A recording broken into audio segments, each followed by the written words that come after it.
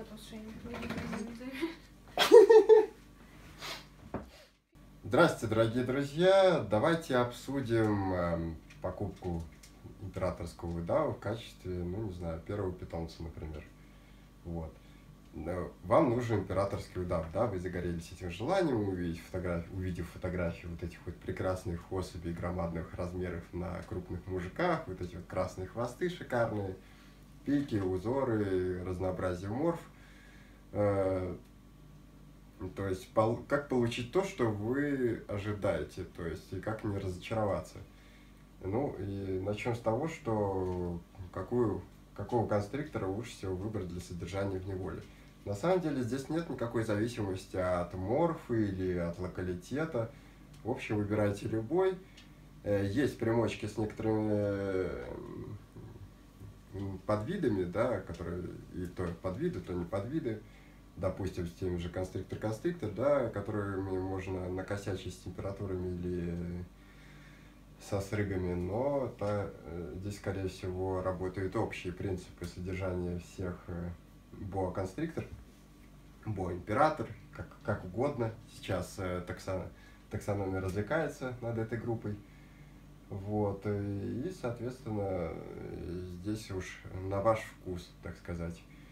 Вот. По возрасту лучше брать, конечно, чуть подрощенных. э, Не парьтесь насчет, как недавно была тема, ну, не знаю, затянутые. На самом деле, довольно часто, да, про- продают иногда люди, допустим, так, так называемых затянутых конструкторов, но здесь ничего страшного.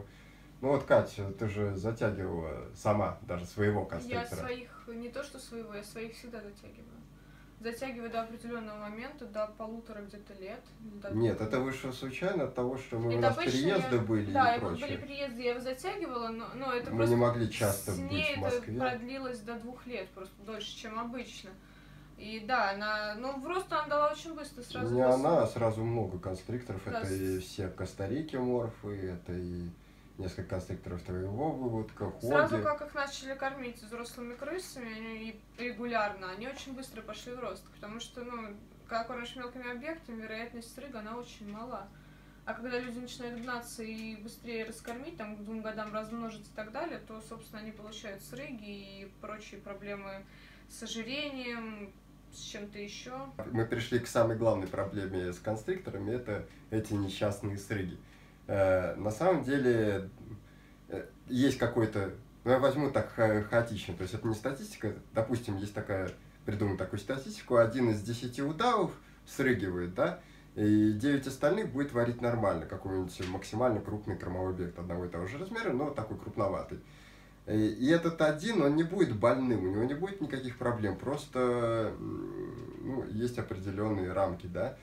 Но вы можете ему создать эти проблемы. Вы можете, вам может случайно попасться именно тот э, один из десяти, и, в общем, когда у вас выборки нет особой, да, вы купили одного конструктора, велика вероятность того, что у вас все будет в порядке. Но есть маленькая вероятность того, что попадется именно тот э, конструктор, который более нежный, он не более, он не больной, он не косячный, просто он чуть более требовательный. И почему я все время всем пишу, вот э, первые кормления, да, и Катя тоже пишет, э, всегда старайтесь дать маленький кормовой объект, а лучше даже его разморозкой, лучше надрезать, вот, и как-то постепенно все это начинайте, прочувствуйте своего удава перед тем, как понять, э, какие объекты к нему, ему подходят. Насколько максимально большими можно давать. Да, то есть и лучше не рисковать. Да, и велика вероятность того, что он э, тот максимальный объект, который может проглотить вообще, запросто переварит. А есть и маленькая вероятность того, что он срыгнет, а срыги это очень плохо. Особенно для констрикторов, если там те же кобры, да, они могут, ну, ханны, не знаю, там монокли, негрицинк, ну, кто угодно, любая кобра, не знаю, там, морели тоже нормально. Ну, срыгнул и хрен с ним. То есть пошел дальше, чуть ли на следующий день поел и все нормально переварил. Мало ли там стресс, еще что-то. У конструктора даже срык от стресса, даже на следующий день или в этот же день, может привести к полному обезвоживанию, нарушению вообще там, не знаю, микрофлоры, еще чего-то, то есть гастриту, гастроэнтериту и прочим радостям. Эм, И далее конструктора такого придется реально уже кормить э, чуть ли не половинками крыс, э, совсем распотрошенными, совсем замороженными, совсем мелкими. И тогда у вас процесс совсем затянется. Опять же, да, с теми же конструктор-конструктор, э, какая ситуация у нас? Говорят, что они более нежные в этом плане. Но нет, с определенного этапа, когда вы почувствуете, их можно хоть пичкать до нельзя, они будут все переваривать. Но до этого этапа вы должны сами прийти, и вы должны его прочувствовать. Соответственно, пока питомец э, у вас акклиматизируется, адаптируется, э, ну, будьте аккуратнее. С констрикторами это очень важно. Если с остальными змеями это тоже важно, но не так критично, то с констрикторами это прям очень-очень важно. Смотрите, они же такие нежненькие, бархатные, чешуйки мелкие. Я причем, если честно, не вижу смысла их раскармливать прям с детства, потому что в размере они, я не думаю, что они потеряют можно в таком возрасте как-то поаккуратнее кормить, а когда им будет там уже года полтора, их можно прям вот закармливать, что если вы хотите прям огромного конструктора, прям поставьте ему большой террариум и закармливайте. Но в детстве делать этого не стоит. Да, в принципе, лучше раскармливать уже, когда у вас конструктор, ну, в районе 80 сантиметров хотя бы, да. Там Около дальше уже, думаю, может быть, посмелее, да. И бить те самые рекорды. Единственное, что, конечно, рекорды не за... редко зависят от кормления, то есть э, многое да, зависит от предрасположенности. Я думаю, многих из вас подкупил в констрикторах именно вот эти вот э, гигантские размеры. Все-таки это одна из самых крупных змей, как ни крути, в мире. А Серьезно, а кроме шуток. А? а как же усики? Ну вот усики вот эти вот, да, симпатичные, стрелочки всякие, эти, вот этот красивый серый окрас э, фон. Мне очень нравятся, на самом деле, стандартные формы. Ну, насчет размеров, ну, по большей части легенда о том, что вот конструктор-конструктор всегда гигантские, э, конструктор-император такие вот э, маленькие. Нет, императоры тоже могут вырастать более 4 метров, и такие случаи не так уж и редки. И даже карликовые императоры могут дорастать до 3,5 метров, но я думаю, что об этом еще поговорим, когда речь пойдет о локалитетах. Э, к сожалению, все сразу же не обсудить. Вот. И здесь как бы лучше исходить из ваших э, вкусовых предпочтений, в смысле эстетических предпочтений по краске. Ну, на самом деле, мы же сегодня про морфину не будем говорить, но можем посмотреть, вот здесь два нормала. Ну да, так называемый посмотрите, колумбийский тип. Да, посмотрите, какие они разные. Я еще, если честно, одинаковых удавов ни разу не видела. То есть они все очень разные. Каждый раз, к сожалению, вот я не могу себя остановить и кого-нибудь себе оставляю. Потому что ну, они настолько разные, вроде кажется нормал нормалом, но, но они же они совершенно разные. У констрикторов приятно растить, они всегда едят с пинцета, они довольно простые, если на них забить. Самое прикольно, что да, то есть э, для рептилий это всегда очень важно. И мы, наверное, тоже тему затронем, когда большое количество змей, как-то со змеями проще работать от того, что змеям легче. Они не устают от хозяина, так как устают змеи, у которых э, коллег всего несколько штук в комнате, и хозяин их всех дербанит. Я сказал, что это у нас э, колумбийский тип. Э, это не значит, что это локалитет Колумбия, просто так принято стандартную форму констриктора без некарликового констриктора континентального, они очень хорошо отличаются от всяких островных групп, называть колумбийским типом. Он может быть из любого другого места, может быть вообще мешенькой.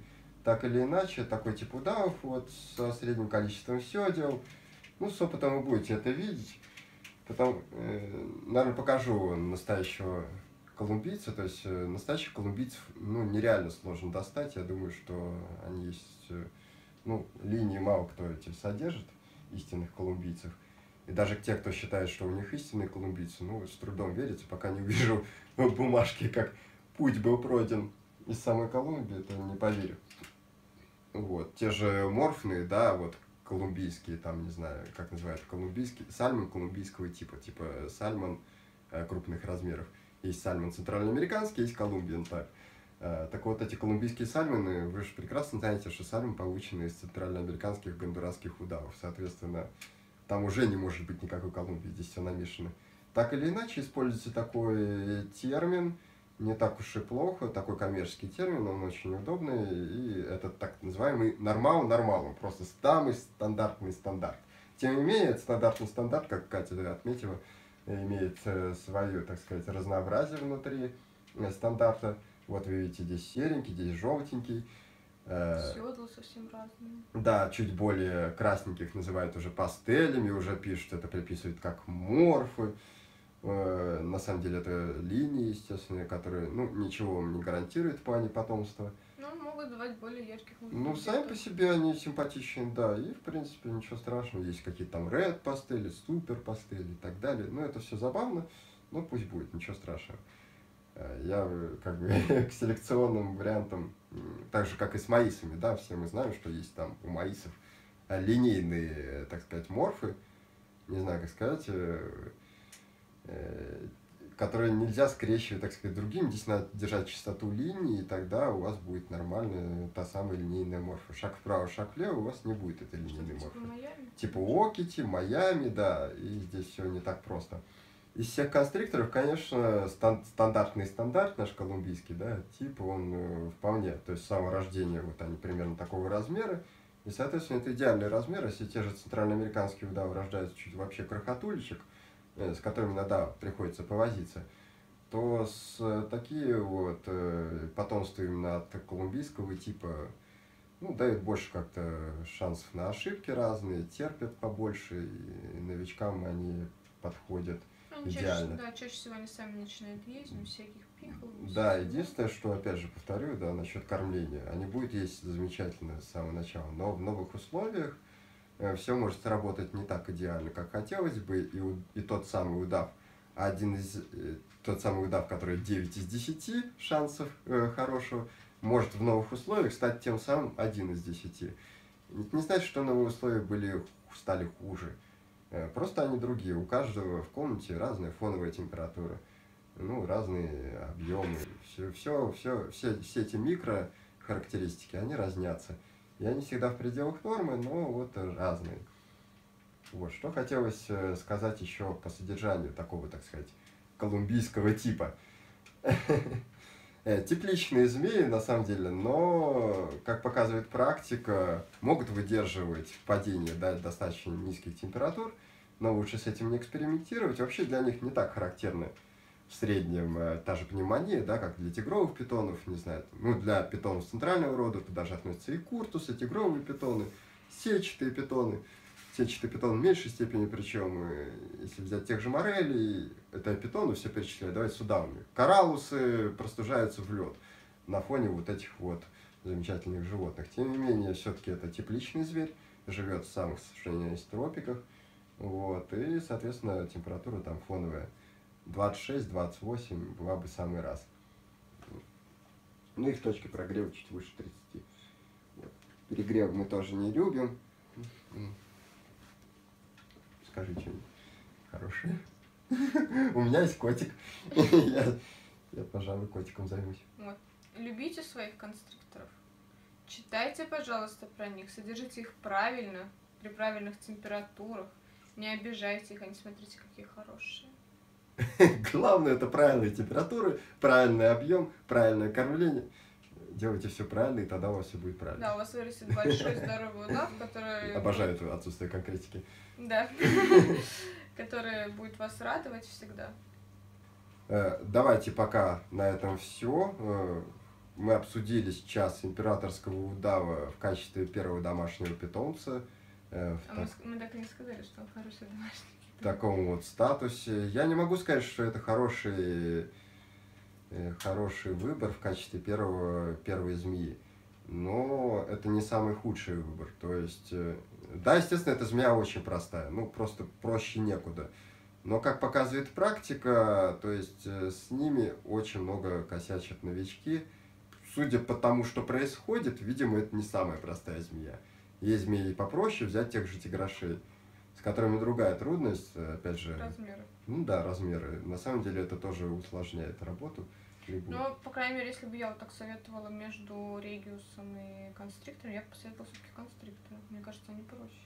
Региусы могут в отказ уйти от еды. У конструкторов такое случается такое время линии. Региусы уходят в отказ, но при этом они не страдают от этого, от этого ни капли, просто это скорее страдальки для Но страдалки хозяина. для хозяев, и хозяева начинают допускать очень много ошибок. У них Да, я не знаю, какие паника. ошибки можно У сделать с них начинается паника, не начинают что-то там температуру менять, заливать его, что-то еще Ну и все равно региус от этого ничего с ним не происходит. Не знаю. Ну, может быть, мне не повезло с первым. У меня первый змея была Региус, второй был Констриктор. У тебя был природник региус, нет? Нет, у меня был Региус Морфопастель. И как-то вот с Констриктором мне было проще. Ну, как видите, Сколько людей, столько и все индивидуально. Так что до скорых встреч, э, до следующего трепа на диване. Спасибо за внимание, ставьте пальцы вверх, если вам понравилось, и подписывайтесь на наш канал. А еще вступайте обязательно вот там вот э, чпокает группа наша ВКонтакте. Она, ссылка на нее в описании. Пока-пока.